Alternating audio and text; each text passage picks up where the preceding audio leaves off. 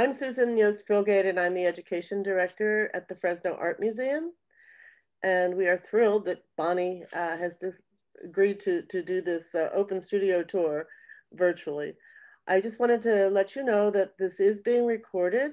We hope to have a recording available in a few weeks once it's been edited. Uh, we ask that everyone please keep their audio on mute. You will have an opportunity to ask questions at the end. And there, you can also take advantage of the chat if you would like, and you can ask questions via the chat.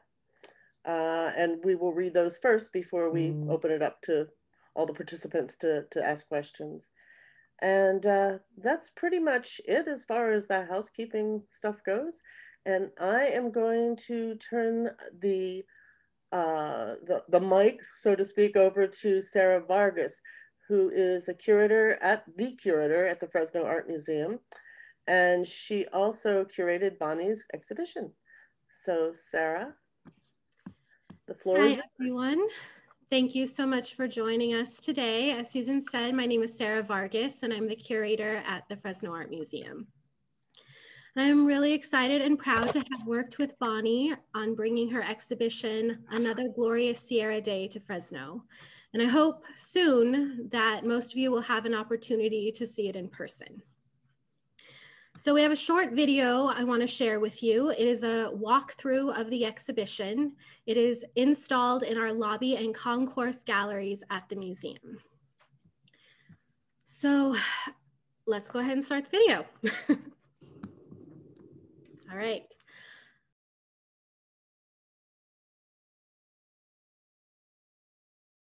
Another Glorious Sierra Day is an exhibition of narrative art by artist Bonnie Peterson, who uses embroidery to investigate environmental and social issues in the Sierra Nevada. Inspired by a variety of source materials such as scientific data and early explorers' journals, Bonnie embroiders words and phrases on velvet and silk fabrics to create large narrative wall hangings, as well as a series of annotated topographic maps. And that image that you just saw and this one coming up are examples of the maps. Her projects examine geophysical climate issues from both a contemporary and a historical viewpoint. Also incorporated in some of the works are personal remembrances and experiences culled from Bonnie's travel journals. Now, Bonnie grew up in the Midwest and currently still lives there, but has been backpacking in the Sierra Nevada mountains since the 1980s. In 1997, she participated in an artist residency at Yosemite National Park and has continued to visit Yosemite and the surrounding areas ever since. These trips provide her with a chance for personal exploration into the impacts of contemporary society and provide a novel opportunity for a consideration of current events and ethical questions. Her selection of textiles and maps integrate the geographic features of the Sierras with 19th and 20th century exploration and contemporary wilderness encounters. Using rich fabrics and intricate stitching, her work provides a unique opportunity to create an interest in further research on the Sierra environment and geography. Another glorious Sierra day provides an original perspective on one of California's most iconic and beloved national parks. So there are 11 quilts and five maps included in the exhibition. You've seen some of them already. So I will just give you a little detail of the ones that are coming up now. So this is a quilt entitled Drought, and it's a great example of how she incorporates scientific data into her work. And I know Bonnie will be talking about this piece in more depth when she speaks, and it is embroidery on silk. Then coming up here, these are two of the annotated topographic maps. You can see there are images affixed to the maps.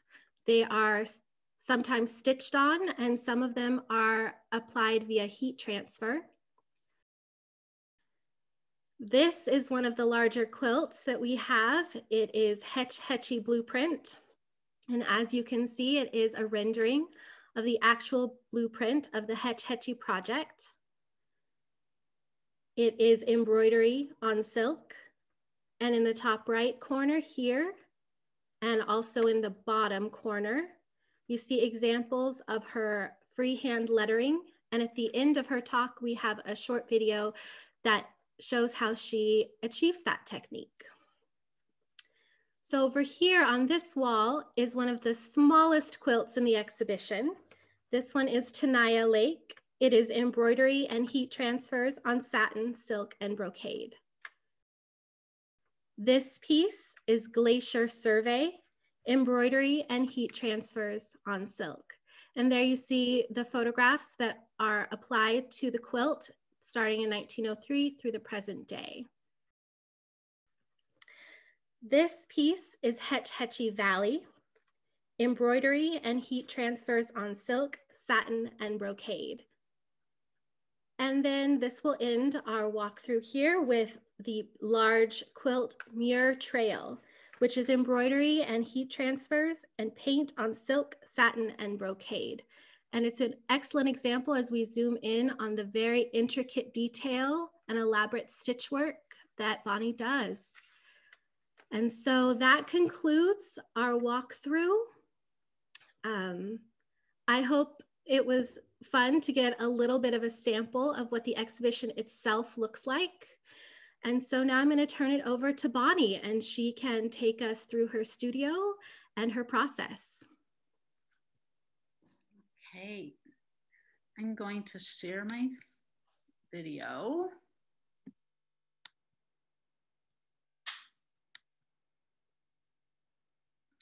Okay.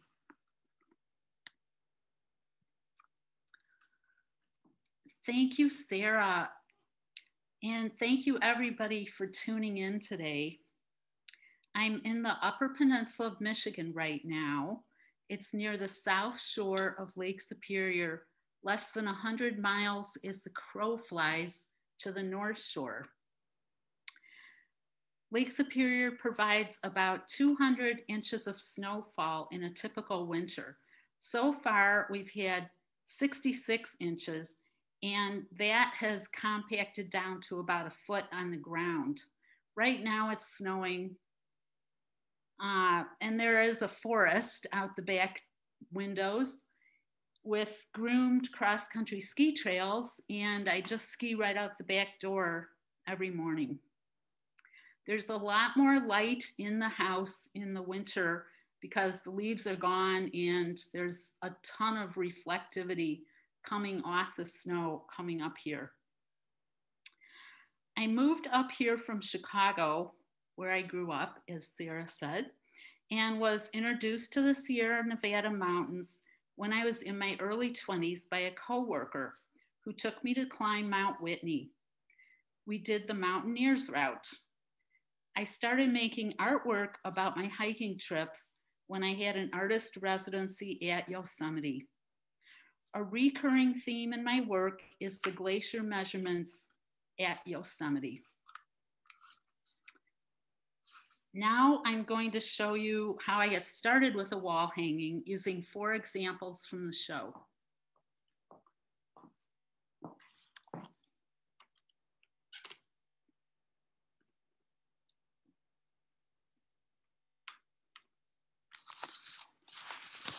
Okay. This is how I organize long-term projects and the velvet and brocade fabrics.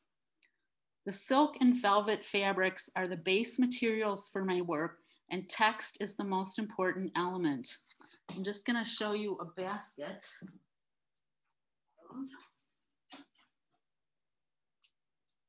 Of some velvet fabrics.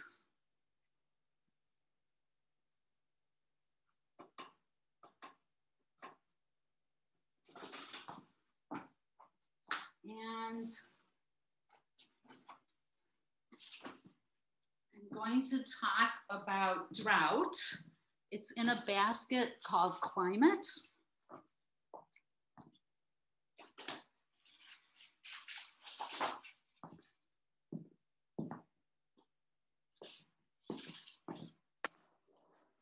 handy music stand here, left over from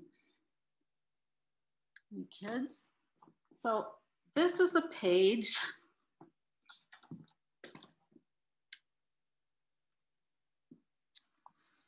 where I've kept the composition ideas for drought. Drought is 38 by 35 and it's all embroidery on silk. I started making climate graphs during a University of Wisconsin artist scientist project about 10 years ago. But drought is an example of working with a scientist and there was not a formally established artist scientist project.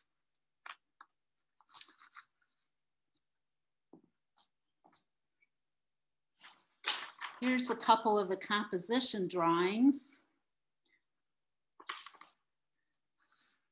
The big words are snow water equivalent. It's a common snowpack measurement. It's the amount of water contained in the snowpack. And you can think of it as the depth of water that would theoretically result if you melted the entire snowpack instantaneously. It's measured on April 1st all over the Sierra Mountains, and it's a major foundation for California's water planning. Snow data is important to me for planning backpacking trips. A few years ago, I read the alarming news reports about California's 500 year drought, and I was curious about the calculations behind this news. I reached out to the professor and author of the journal article behind the statistics, Valerie Trouet at the University of Arizona Tree Ring Lab. The article was published in the journal Nature Climate Change in 2015, and she helped me untangle the methods and statistics behind using snow water equivalent data paired with tree ring science to explain the extreme nature of this drought.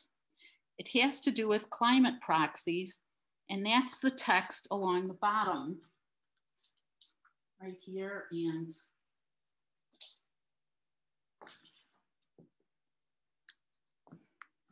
A common example of a climate proxy is an ice core from Greenland or Antarctica. The air bubbles in the ice core are analyzed for carbon dioxide measurements. A climate proxy stands in for direct measurements to enable scientists to reconstruct the climatic conditions that prevailed during Earth's history.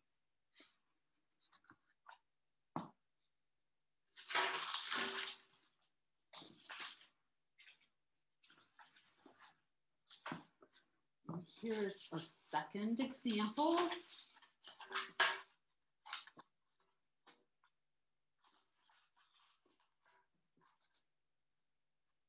This is called Glacier Survey.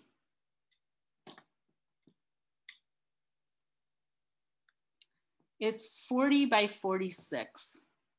I backpacked to the Lyell Glacier with a group of geologists, journalists, and other backpackers. It was a Yosemite Association trip in 2008, and it started at Tuolumne Meadows at the elevation of 8,600 feet.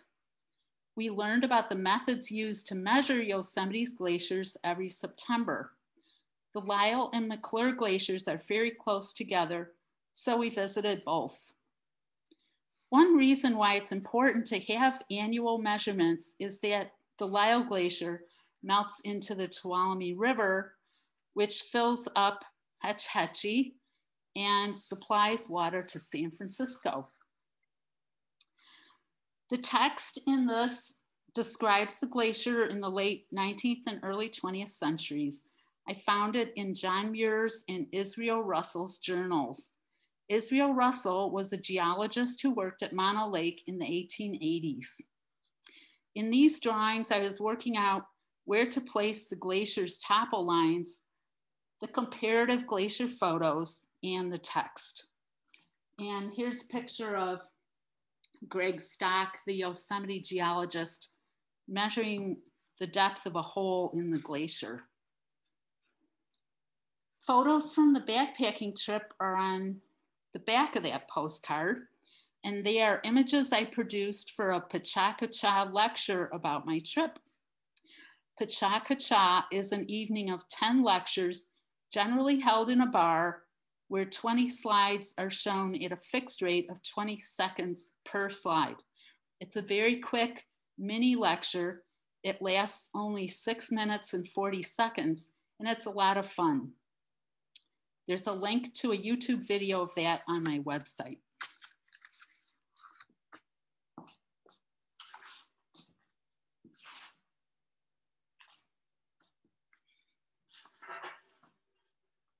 Okay, here's Mono Lake.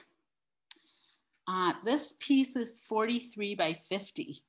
Mono Lake is an ancient saline lake located at the eastern edge of the Sierra. It's visible from space and it's home to a unique ecosystem of brine shrimp, birds, and world famous tufa towers. There's the tufa towers. Its tributary streams also supply water to LA 350 miles to the south. And that's why people are measuring the level of Mono Lake. There's a lot of text in this one, and most of it is from William Brewer's journal. William Brewer was a geologist and botanist. He took an 1860 to 1864 trek by foot, horseback, and boat, exploring California's topography, plants, and animals. His small team carried five foot barometers to calculate elevations and climbed all of California's highest peaks. Brewer recorded his findings, analysis, elevations, and amazing personal reflections in a massive diary that is still selling today called Up and Down California. It's almost 600 pages. And on the front cover, there's a funny review that says, like a trip in a time machine, full of adventure and discoveries.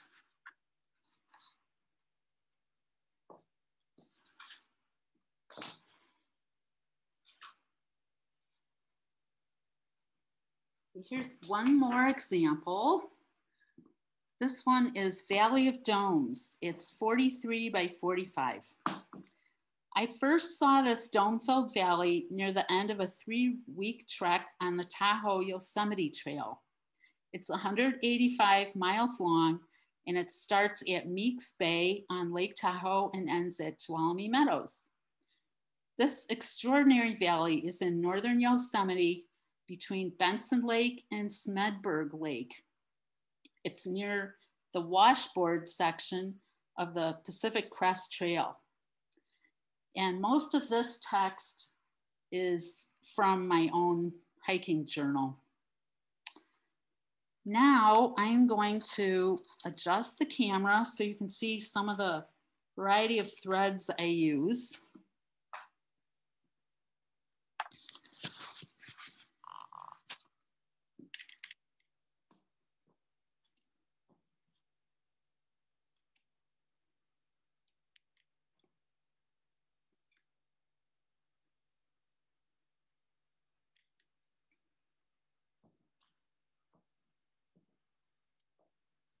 Okay.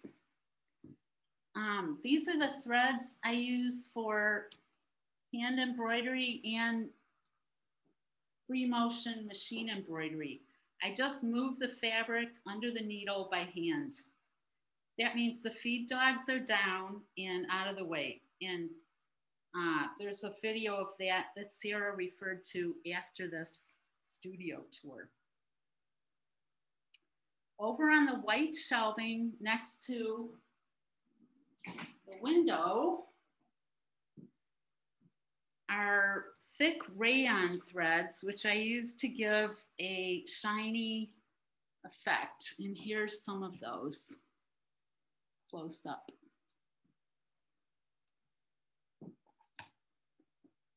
And on these two,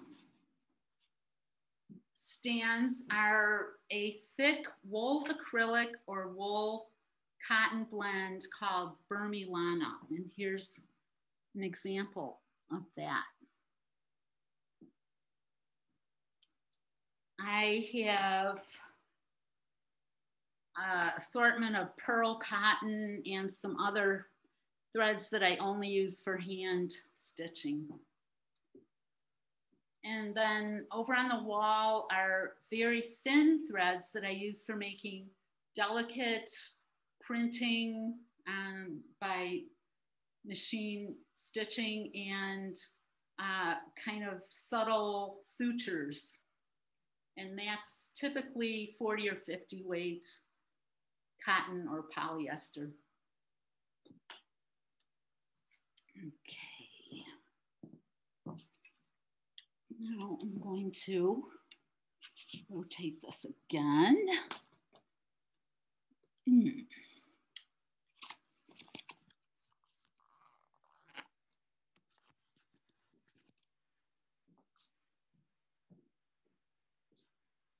I pin fabrics right onto this wall. It's drywall covered with 24 feet of three quarter inch sheets of insulation material called Celotex. The Celotex is painted with a few coats of white wall paint and I can put pins right into the wall.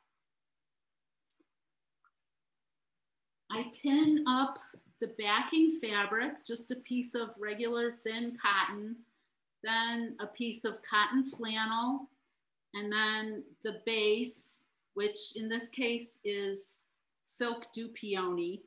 Then I pin through all three layers and take this sandwich to a table for hand basting or I'll free motion baste it on my machine.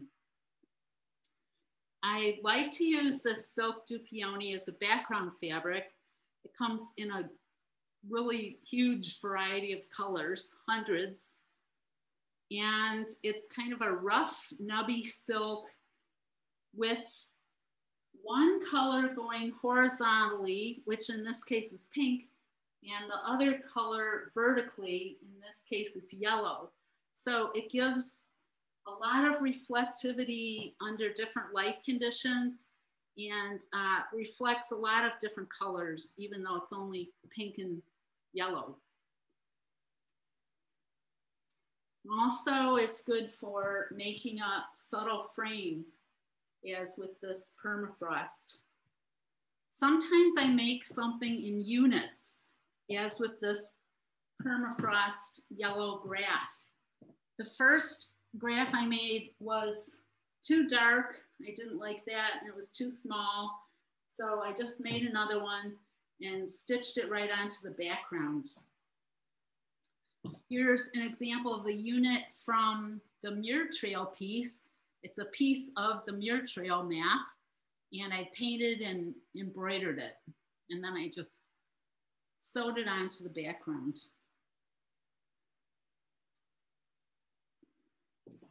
Okay.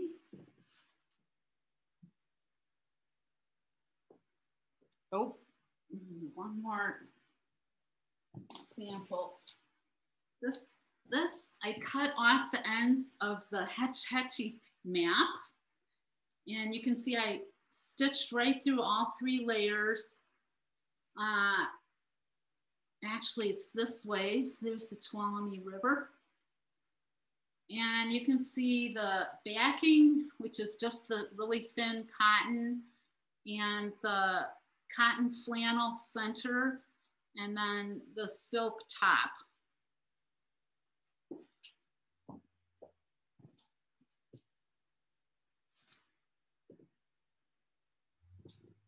Okay, I'm going to rotate this again.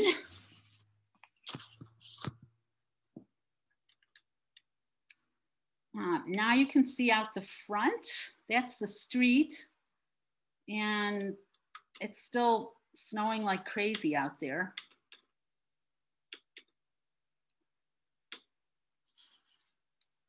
Okay, these are the tables I use for hand stitching or basting and for making the topo maps. And there's five maps in the show, as Sarah mentioned. Okay. Um, first, I'm just going to show you an example of the variety of silk dupioni.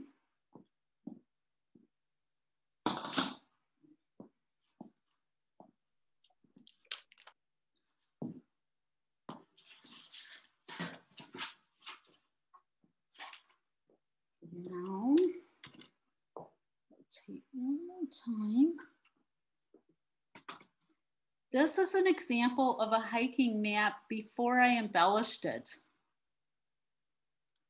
It's Mount Darwin Quadrangle. It has part of the Muir Trail going through it through Evolution Basin. The maps are all standard seven and a half minute USGS topo maps used for navigation. When I first hiked the Muir Trail in 1982, there were no condensed trail maps or phone maps as there are now. And I carried many of these large USGS topo maps. Each of the framed maps in the show has information and history about the area on the map or handwriting from my journal as I traveled through the area.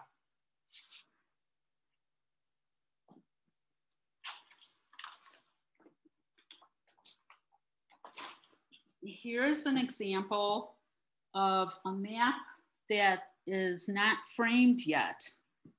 Um, the base of the map is a topo map called Escalante, Utah Quadrangle. I've stitched on, well, let me show you the back first. You can see the back of the stitches.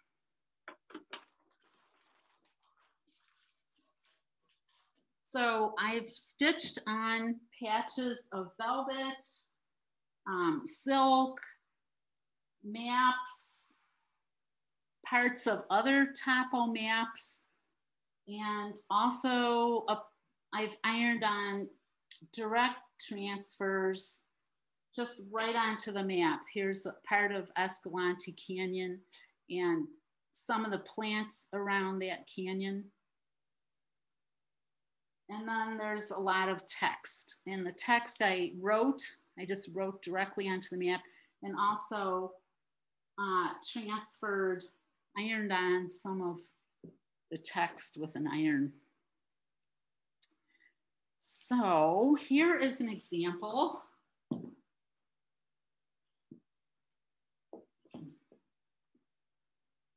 of a framed map. And this map is near here. It's very unique because it has land in the center and Lake Superior's on the north end and the south end. And that's what I like to find when I'm picking out a map as something unique. And then you can see the uh, little patches that are stitched around it.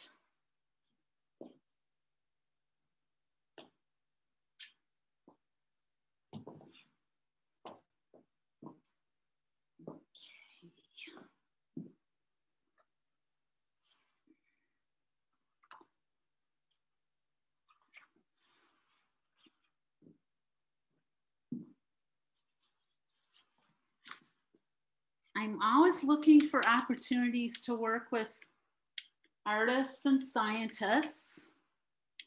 And this table has on it uh, a lot of articles that I've been collecting for my next project, which is permafrost.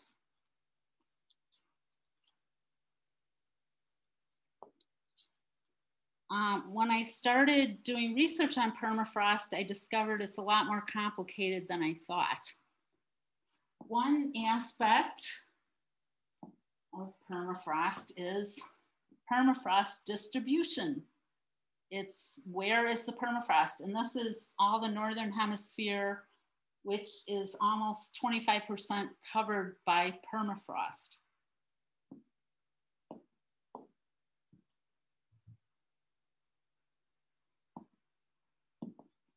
Here is another interesting aspect called active layer thickness.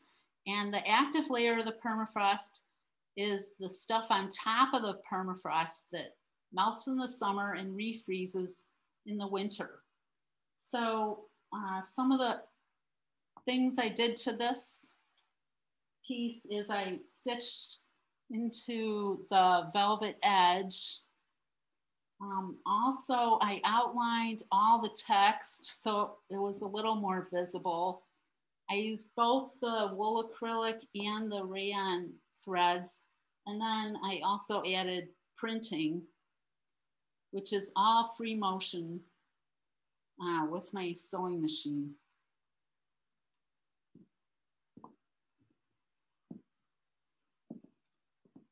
Here is an example of some crazy quilt stitching in the edge.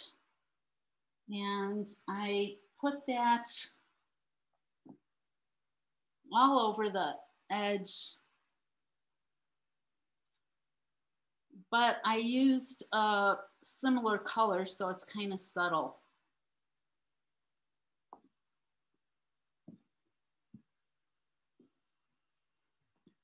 And one more example. This piece I stitched what's called a kantha stitch. It's a stitch from India all over the edge. And then in the inner frame, I stitched teeny little stitches everywhere in there too. So one more example. I got some of those out of this interesting book.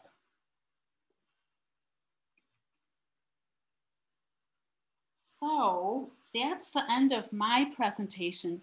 Thank you, Sarah and Susan and Esther and everybody who works at the Fresno Art Museum. The show looks really great. And thank you everybody for coming to my studio today.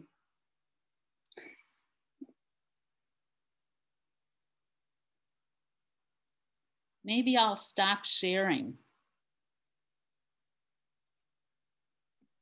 Uh, we have a, a little video of uh, Bonnie doing some machine stitching that I will attempt to play right now.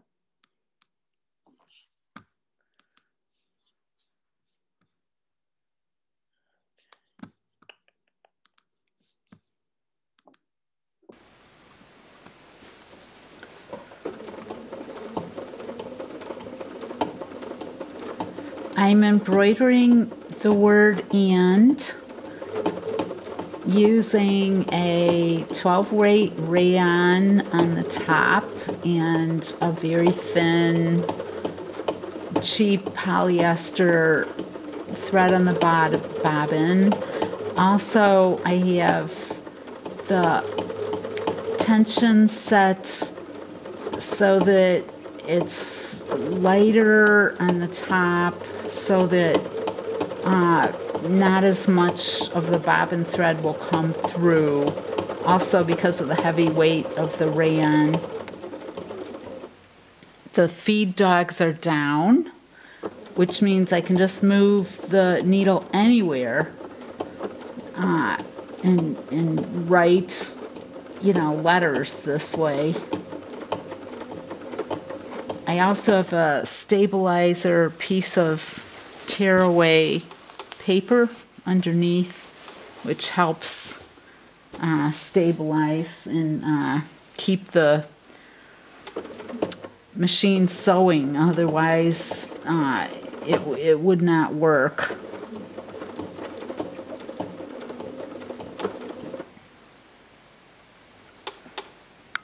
Great, thank you. So I'm um, looking at the chat. Um, there are a couple of questions. Do you work on one piece at a time or several at once, Bonnie? I try to work on three at a time because I usually get to a place where I can't do anything else because I don't know what to do. Uh, and by that time, I have figured out what to do on piece number two. Um, or as with this permafrost piece that I showed, it's rather large and I spent a long time in DC last year, so I didn't finish it. So it's nice to have smaller things too, which those uh, pieces I held up are all around 24 inches. So that's something I could take with me and do a little bit of work elsewhere. Thank you. Um, there's another one. Let's see. Oh, I'm going to have fun with this word. Can Bonnie discuss how she translate the, translates the concept of the Anthropocene, am I saying that right, into oh. her designs, colors, scales, etc.? Oh, I I use that word. It's a word that's gaining more use as humans affect the climate. And it basically means human affected climate era instead of Holocene, which is the uh, era that we're in right now.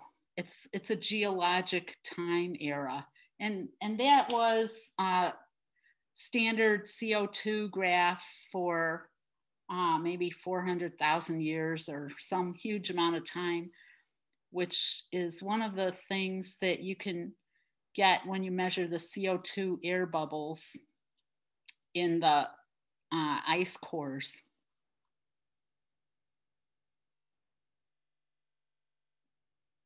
Great, thank you. Now I, I learned a new word today. uh, if anyone else has a question, you are welcome to unmute yourselves and go ahead and ask it.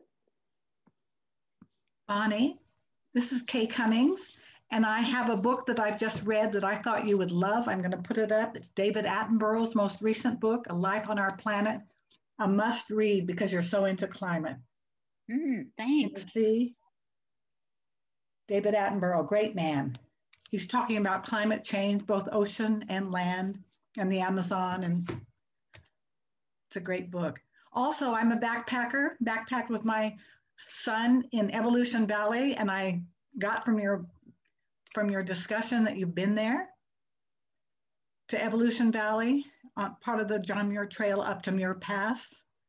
Have you been there? Oh yeah, it's be- that's my favorite. Beautiful. It's very lovely. Yeah, and my son's a big backpacker. He was out for 43 days all along the trail, all the way to Yosemite. He's gone north, so you would relate to him. yeah, that sounds like a really long trip. And I was privileged to be one of the first in the museum when the show opened. So I actually saw your exhibit and it was beautiful. Oh, cool. I loved it. so I hope to get there myself sometime. Oh, yes. yeah, that's great. I mean, the first time I did the Muir Trail, it was in 82, and people were starting at Mount Whitney and going up to Yosemite. And these yeah. days, people start at Yosemite and go down to Mount Whitney. I guess yeah. it's thought of to be easier north to south. And because you aren't climbing to 14,000 feet the first day. And have you ever ever gone from west to east? Like um, the Paiute Pass trail goes over to the east side. And there's yeah. a number of different trails that go that way. That's the great thing about the Sierra. There are endless trails. There's right. a lifetime of hiking. The sad thing, we had these fires. The creek fire was very devastating for that area. You, you probably know uh, Florence Lake and Edison Lake. That whole Yosemite, I mean, that whole basin of the South Fork of the San Joaquin River was decimated. So sad. Wow. Yeah. So the fires are part of the climate change. Yep. Yeah, I have a large piece about fire on my website. It's oh, um, do you? Oh, wow. Called on the nature of fire, and it's kind of a flow chart about different uh, variables of fire ecology. Is it possible to show it here or not? Oh, I don't think so. I would okay. have to figure out how to do that, which would take me another hour. But just okay. go to my website and, and it's okay. right there.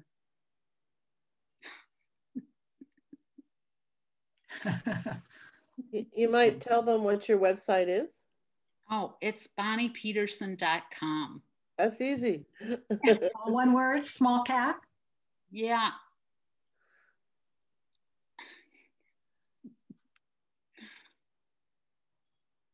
Bonnie, I want to say hi from St. Paul. I used to be neighbors with you and um, up in the UP. And I just, I've always marveled that you have such a gift for understanding all this difficult scientific stuff. It's kind of unusual, um, I think, for people who have a gift for um, shape and color and putting things together in a beautiful way. How do you explain that in you? Being an artist and a science person, how do you do that?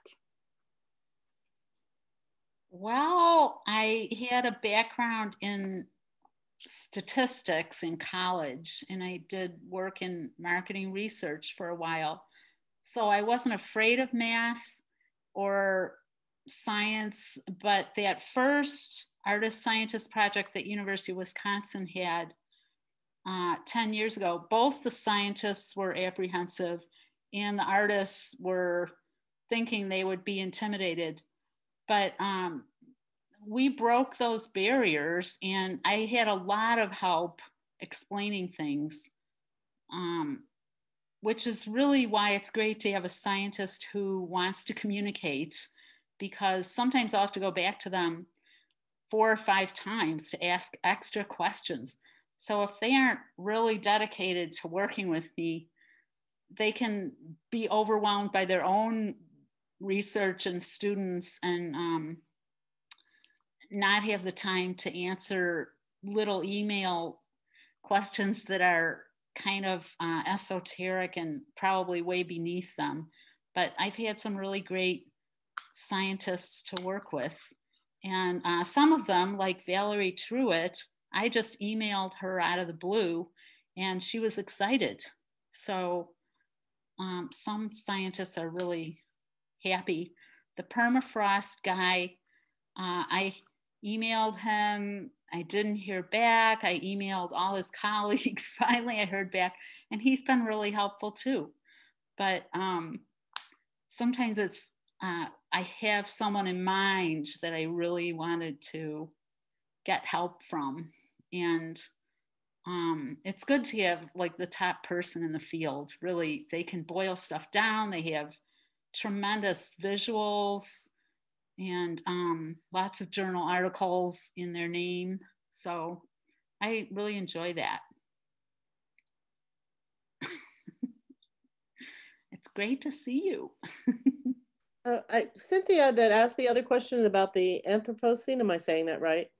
Uh, she said, what I meant was how, how is the concept displayed in the designs, colors, scales, etc. So I don't know oh. if you can explain that. Hmm. Is that a, a tough question? yeah, um, a lot of my choice of colors has to do with uh, what I have used before that I do not want to repeat and make things a little more different um, from each other.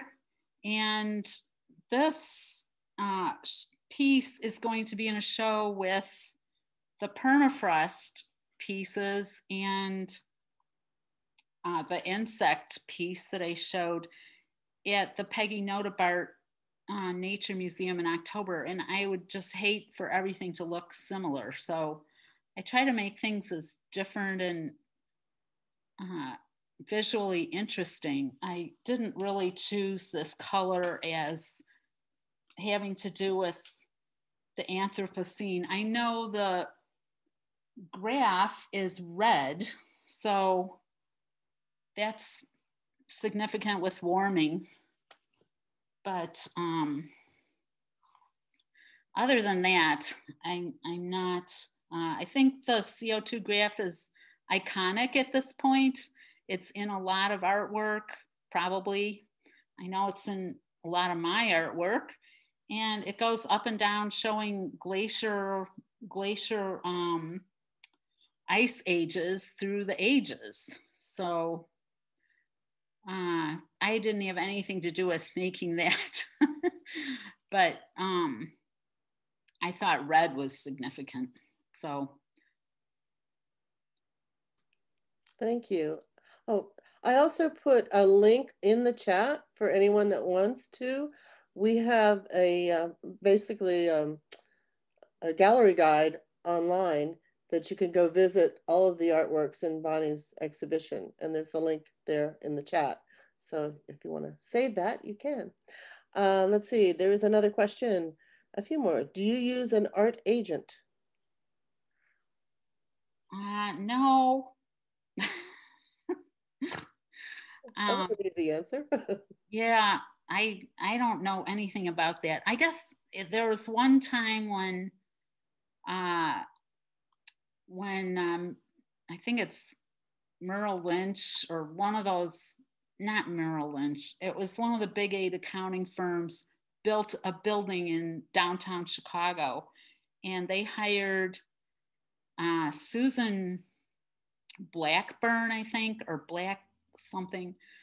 And she is an art agent and she placed artwork in every nook and cranny of that building uh, according to like 100 pages of architectural drawings. So um, I guess that's the closest I would say. Uh, uh, Susan Blackman, I think that's her name. Okay. Oh, and, and there, here's a plug for you. Cynthia Valoric, a plug for Bonnie, who is going to be on my panel at the upcoming College Art Association Conference. The title of the session is From Wheatfields to, Esc oh, there's another word, Escoffieh. E Ecosophy, I can't say that one. A consideration of women artists in the history of climate change. I'm, I'm not a scientist, so I don't know those words, but it's also in the chat and it's spelled there.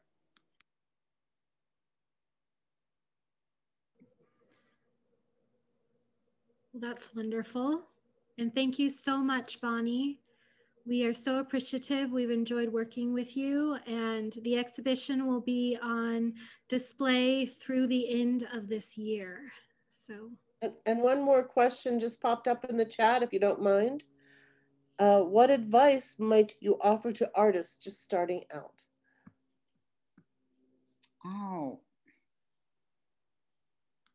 I would say just keep making art, get on a schedule and do it every day as much as possible. And uh, just get a practice going. And uh, the topics will come. Uh, I guess that's what I would say. Just keep doing it and try to get a supportive group I know Anne is a tremendous support for me up here.